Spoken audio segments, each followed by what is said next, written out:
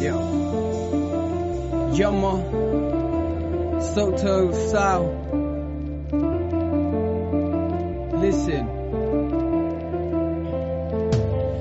यसरी साथ नबसेको पनि धेरै भएको थियो उनीहरूको मायाको चिनो आज एक वर्षको भो जीवनको सायद सबैभन्दा रमाइलो क्षण सिपाही र उसकी बुढी घरमा रमाउँदैछन्। एकअर्का टाढा हुँदाका कुरा सुनाउँदैछन्। दुःख सुखमा हाँसी खुसी चित्त बुझाउँदैछन्। छेउको कोठाबाट टेलिफोनको आवाज बच्छ उसले फोन उठाएर हेलोको बोल्नु? भनी प्रश्न गर्छ कुरा अनुसार अब ऊ पल्टन फर्कन पर्छ धरती आमालाई उसको छिटे खाँचो पर्न सक्छ उसकी श्रीमती नजानु अब धेरै भो भन्छन् सन्तानको कसम खुवाउँदै रोइ कराई गर्छिन् तर गोर्खालीको छोरो ऊ कहिले पछि हट्दैन ऊ सधैँ अमर रहन्छ कहिले पनि मर्दैन आफ्नो परिवार भन्दा अघि कर्तव्यलाई सम्झन्छ त्यसै गरी यो सिपाही पनि यो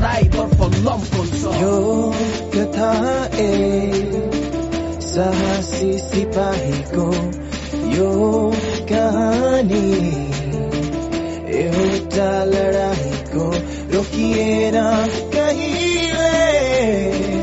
रगतको खोला त्यो बढ्दैछ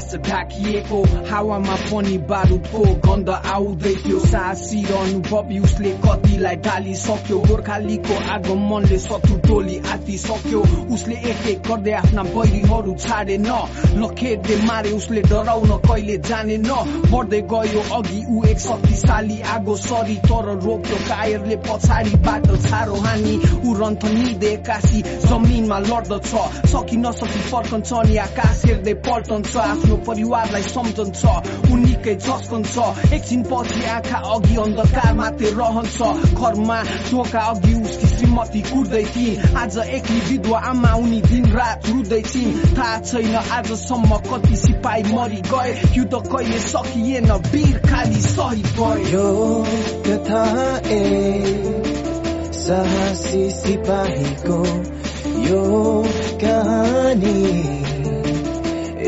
एउटा लडाईँको रोकिएन कहिले। रगतको खोला त्यो बढ्दैछ।